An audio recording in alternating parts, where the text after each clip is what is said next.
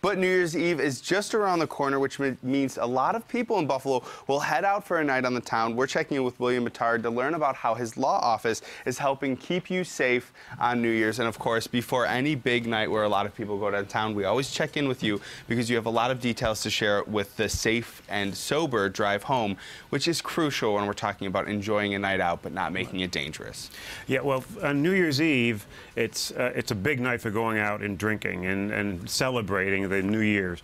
And one of the things people have to understand is no safe limit for drinking and driving. So on this New Year's Eve, we're having our seventh annual Safe and Sober Free Ride Home program. And so what we're doing is allowing people to get a free ride home from Buffalo to, to their homes, a 20 mile radius.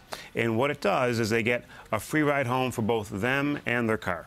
And one of the things we want to talk about with this is you have to also, before you go out, think about how many people you're going to want to transport back home. You were telling me if you have four people in the car and you want to get home, but the car only has four seats, you're going to have to leave a seat for the driver. Correct. Now, designated drivers of Buffalo, we partner with them. We've been partnering with them for uh, seven years, and they're wonderful. But one of the things that's pretty interesting that on occasion someone will say, well, we have four people and we want to put the driver in the car. Well, that doesn't quite work. I mean, you have to have a, a designated driver at Buffalo is very safe, and they're not going to be able to have someone sit on their lap. And is drinking and driving as big of an issue as you know everyone is prone to think it is in Western New York?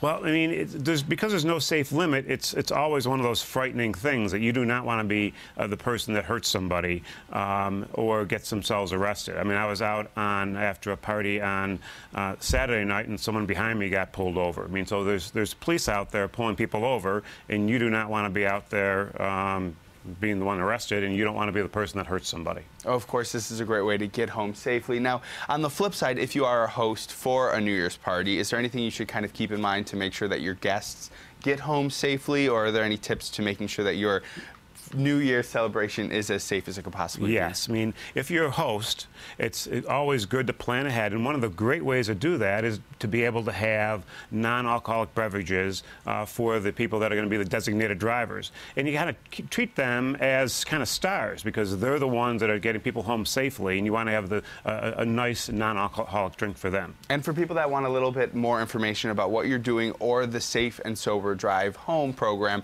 where can they find that? You can find that at williammattar.com. Go to our community page, and we have all tips about how to uh, be safe when you're you're out uh, celebrating on New Year's Eve. And of course, no one wants to start the New Year's with an accident or something else that's going to set you up for failure.